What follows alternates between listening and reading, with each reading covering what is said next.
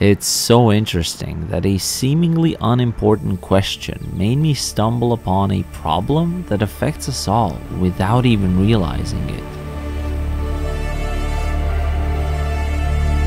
For the last few weeks, I've been trying to understand what kind of content I want to create here on YouTube, and it had left me feeling stuck because I couldn't find an answer. I've been trying to find an identity for myself, but do I actually need one? Maybe I'm just making everything much more complicated than it needs to be. The thing is, I never had this problem before, especially at the beginning. Back then, ideas were flowing to me at all times, and I was accepting them. I had no expectations and went in with an open mind, creating anything that inspired me at the time. I was an explorer, testing different approaches, filming in various environments and enjoying the process along the way because it all felt like play to me. I think that could be the answer, or at least part of it, but it's not only for my YouTube question. I'm starting to think that a lot of us are unknowingly limiting our full potential and enjoyment of life.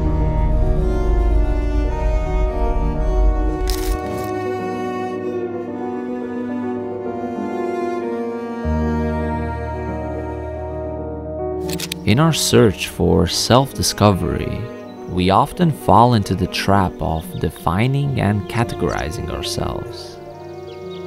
We seek to fit into these preconceived boxes, hoping that it would help us understand more about ourselves and find a community that we would fit into. While it's a natural and necessary part of becoming a unique individual, it can become an obstacle when it doesn't align with the life we aspire to create.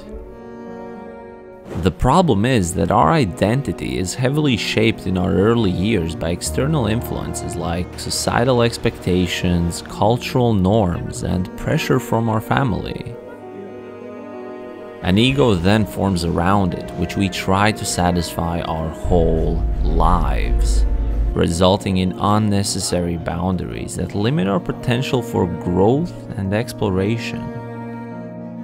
You probably have some standards that you never really imposed on yourself and might be living someone else's life without even realizing it.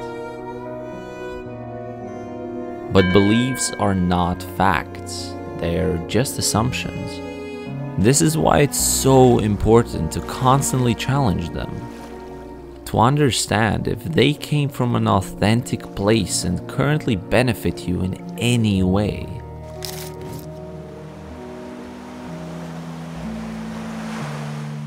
At the same time, I actually believe we have many identities.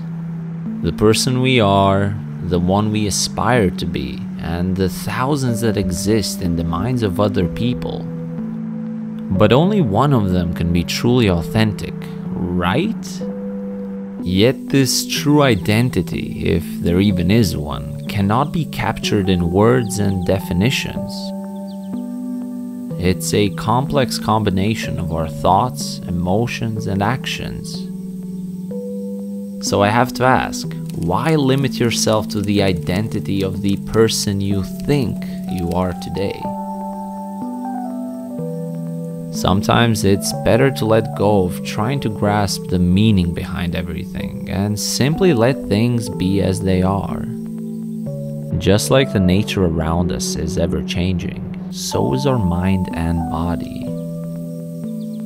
With each passing moment, we are a different person than we were before.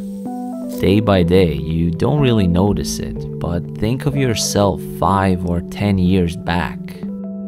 You're probably completely different now. We are constantly evolving and adapting to new circumstances, so it's crucial to keep an open mind and leave room for exploration. By embracing this dynamic nature of life, we open up to endless possibilities of growth and enjoyment. Rather than identifying with a fixed set of characteristics, let go of the boundaries that you have imposed on yourself and allow your identity to evolve and expand naturally. That's how you create the best and most authentic life for yourself. Embrace the idea that you can become better at anything you set your mind to, and don't be afraid of new experiences. Never stop learning and exploring, it's what gives life meaning. Genuine curiosity is a beautiful thing and this is especially important for people in the creative space. If you're an artist, try working with different colors or different sounds.